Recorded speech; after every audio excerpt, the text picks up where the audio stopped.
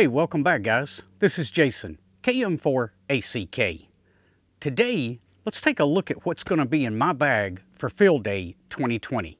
Stick around and we'll get right to it.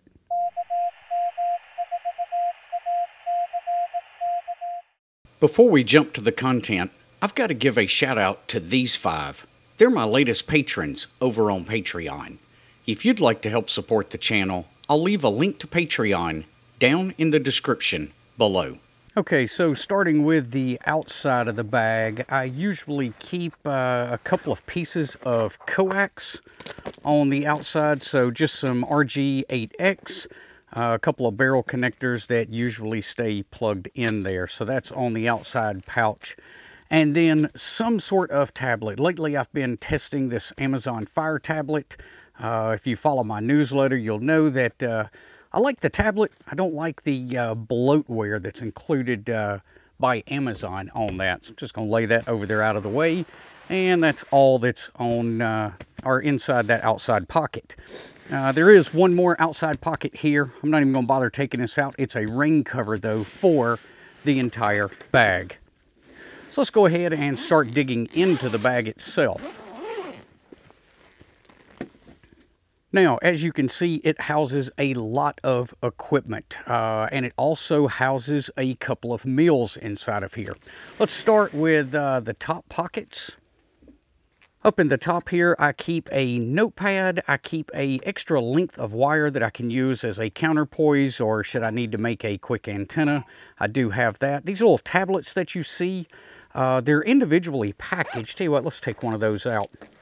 They're individually packaged.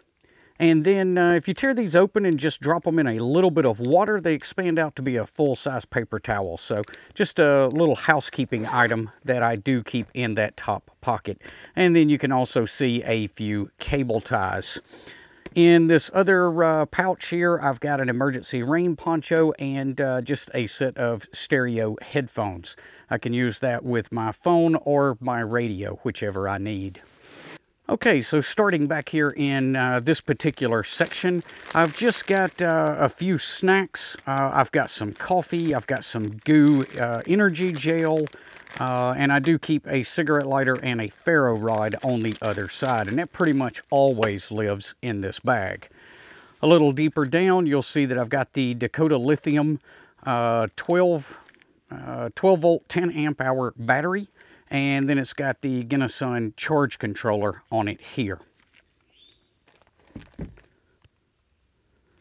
Down below that, I do keep another small notebook where I can keep uh, any notes that I might need. The next pouch over, or the next section over, uh, you'll see the Raspberry Pi 4. This is the 8 gig model. I have to uh, label them now because they all seem to be in similar cases.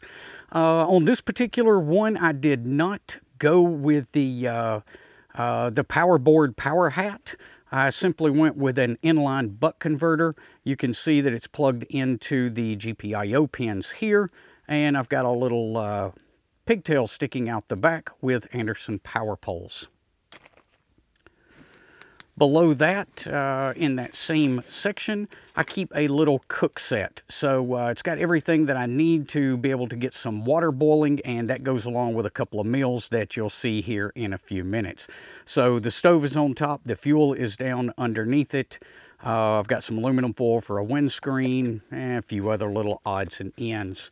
To go along with that, I do keep a spork in the bag. And last but not least on in that particular section is a small roll-up uh, J-pole antenna. Now this one is only good to 5 watts, so I'm typically using it with an HT. All right, the middle section here houses a couple of different things. This is a uh, water bottle, and right now it's empty. Uh, stuffed inside of the water bottle, I keep some paracord. I keep another plastic uh, collapsible type uh, water bladder that uh, I think that one holds two liters of water if I remember correctly and I also keep a water filter. I'll probably actually throw this out of the bag for field day because the field day site that we typically use is uh, void of water so we do have to pack all of the water that we want in. Uh, so really not a whole lot of need for that. Uh, this is just a little bitty uh, backpack uh, that collapses up really small. It's more like a day-style backpack. I just keep this in here if I need to maybe offload some stuff out of the primary bag. Uh, let's say when I get to field day, I want to kind of separate all my food out into a separate bag. I could open this up and throw all of the food off into it. Next up, we've got the PowerFilm 30 watt solar panel. Uh, and this will be the primary solar panel that I will use for field day this year. Okay, next up is uh, this pouch, and it contains a lot of goodies. We'll get back to that in just a second. Let's go ahead and empty the rest of the bag, and then we'll open this up and go back uh, through it. I do keep typically two different antennas in this bag. Now, this is what I haven't decided on for field day this year. I'm not sure which HF antenna I'm going to use. I've got uh, basically a choice of three different antennas. I have my IMD 109 by TN07. That is not currently in the bag for this outing today. Uh, this bag here houses uh, an end-fed half-wave. This is a homebrew that I've built with a 49 to 1 transformer. So this is one option uh, for field day in addition to the TN07 109.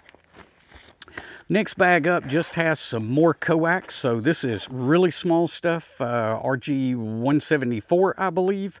I do have adapters uh, that I keep on here for uh, PL259 to SO239s just in case I decide that I need uh, those. So a lot of times I'll operate with just 25 feet of this coax for HF, and then I'll save the larger coax that you saw earlier for UHF and VHF.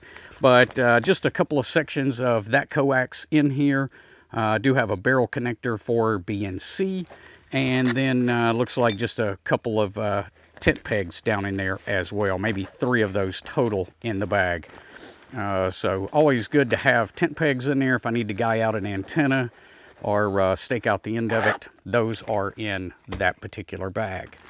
Uh, then just stored in a Ziploc bag, I've got uh, various things for the Raspberry Pi. You can see a external thumb drive here. I've got my sound card.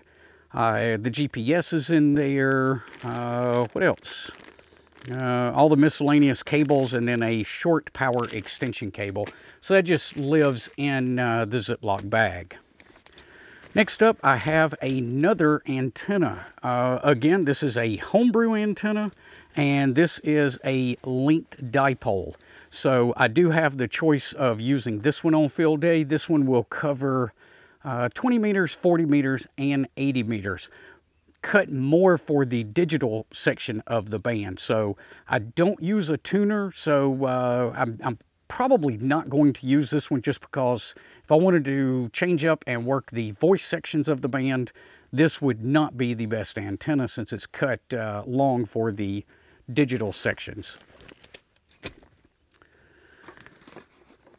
All right, we are getting close to the end. This little pouch here, it's a uh, old camera pouch uh, that I use, and inside of it is a nano VNA. I actually have a pouch inside of a pouch. I want to give this thing a little extra protection, but a nano VNA is in there if I need to double check an antenna or something, some sort of issue that I'm having. I do have this. And then in the front section, uh, various adapters and cables that's needed to test an antenna. New for this year, uh, last year if you guys watched that video, if you've been around the channel for a while, you'll know that I ran an 857. Uh, this year I am going to be running the Yaesu FT891 and I'm going to run that in conjunction with a uh, Yaesu FT65R, I believe, HT. So the HT is going to handle all of my um, VHF, UHF communication. So if I want to do WinLink over packet or I want to use uh, that for an APRS station, whatever I need for two meter work, I'm going to use the HT. But this will be my primary HF rig this year. All right, and the only thing that leaves in the bag is a couple of freeze-dried meals. Freeze-dried meals are really good because they are super lightweight, and uh, I don't care if it does say two servings on some of these. Uh, you'll notice there are 2.5 servings. Uh, don't believe it. This is one meal for me. So a couple of different meals that I do have in this bag as well. Now let's go ahead and talk about uh, this particular bag. So this bag has quite a bit going on in it. First we'll take a look at uh, the back side of the bag. In here I keep the fold out keyboard that I can use with the Raspberry Pi. I've got uh, all of the cable that I need for the solar panel. So this end plugs into the solar panel and then this end into the battery to charge everything up. I also keep a Bluetooth mouse in here. This is kind of a small one, old, uh, pretty beat up, uh, but works well with the Raspberry Pi. So makes it a little bit easier when I'm working with the tablet um, to be able to have an external keyboard and mouse. In addition to that, I keep an old Raspberry Pi 3 in here as well. So should the Raspberry Pi uh, go bad during the middle of field day, I always have the option of grabbing this one and running from it. In addition to that, I also keep a brand new 32 gig SD card uh, shoved off in here. You will see some more SD cards on the other side, but I always leave this one in here. Uh, so I would literally have to have three SD cards die on me uh, during a 24-hour operation before I was out of business. And honestly, guys, I've got some SD cards that have been in service for five years and I've never had a glitch with them. So I know that's a, a lot of people's fear of SD cards uh, wearing out or going bad or, uh, you know, some other sort of failure. I just haven't experienced it, uh, you know, with my Raspberry Pis. Now, flipping the bag over uh, to the front side, we'll go ahead and unzip that and fold that out for you. As you can see, there is a lot of different adapters uh, and whatnots in this bag. So I do keep uh, a spare sound card over in this section of the bag. I also have a uh, little tester, power pole tester. Uh, there we go. It's got power poles on one end and then a LED on the other, green if everything's okay, uh, and it will turn red if uh, you have something wrong. Maybe uh, you've got the polarity reversed or something. Here is a short uh, power extension cable on this side if I needed to get a little bit extra length on uh, some power. I've got a couple of different splitters in here. This one is for splitting solar panels out so I can actually use two different solar panels to charge the battery.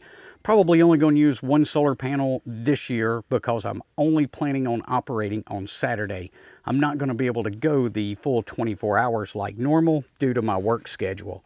Uh, next up is uh, another splitter and this one is purpose built to go between the battery and the solar panel. Uh, I'm sorry, the solar charge controller and then give me a couple of extra outlets on this end.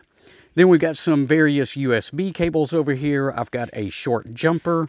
Uh, there's another USB cable that would be used for cat control on the 891 if I needed it. And a little voltage uh, tester for USB.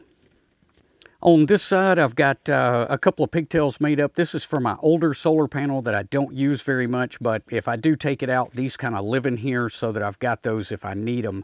There is another uh, buck converter, so this goes from 12 volts down to 5 volts and gives you a couple of USB uh, power ports here. So if you need to maybe recharge a tablet, uh, recharge your cell phone, or if I have to go back to that Raspberry Pi 3, I would probably use this in conjunction with one of the cables over here. And this particular cable here is designed to recharge the uh, FT65R in the field. That particular radio, uh, using its cradle, you need 12 volts going in, so that works well for it. Last little pocket here has a uh, Watts Up meter in it. So this will give me good information on the battery and uh, kind of where the battery's at throughout the day. And then beyond that, I do keep two envelopes. Uh, this one is for my 857. And looking at that, I need to back that one up again. It looks like March was the last time I backed it up. And then, of course, I've got the one for the Pi, uh, the Pi 4 for my 891. So these are uh, carbon copies of the cards that are already loaded into the Pi. This is the one in my Jeep and this is the one that's in the bag you just saw a minute ago. So exact uh, backup copies, that way should a card fail, I can pull one of these out and use it. If I got a failure, uh, then I would take the backup card and try to copy it back to the original card that failed. Should that card just be completely trashed, then I would go ahead and grab the new card in the back and copy over to it. So that's what I plan on carrying with me for field day this year. See something I missed? Leave it down in the comments below. I'm always interested in hearing what you guys think and what you might consider taking that I didn't consider. All right, guys, we'll see you on the next video. Until then, 7-3.